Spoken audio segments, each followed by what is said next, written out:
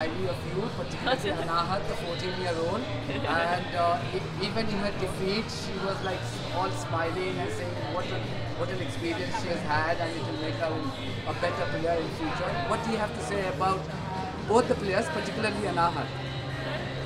Oh well, yeah. I mean, they're obviously very, both very nice girls on court, very respectful. Yeah, yeah. Um, but yeah, they're you know they've obviously got a lot of potential.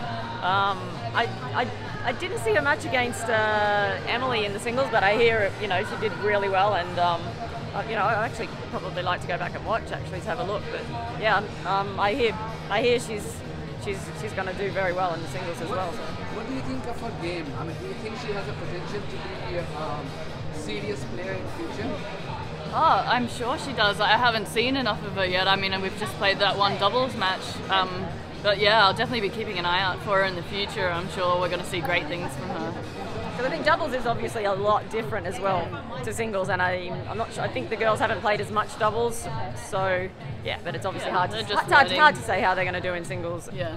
Uh, on going on uh, a doubles. And this was her first senior level game. She had never played any senior games before. All right, so no Wow. no PSA events Wow. yet. Oh wow, okay. Wow. All right. Yeah. Well, they need to get her out there. Yeah.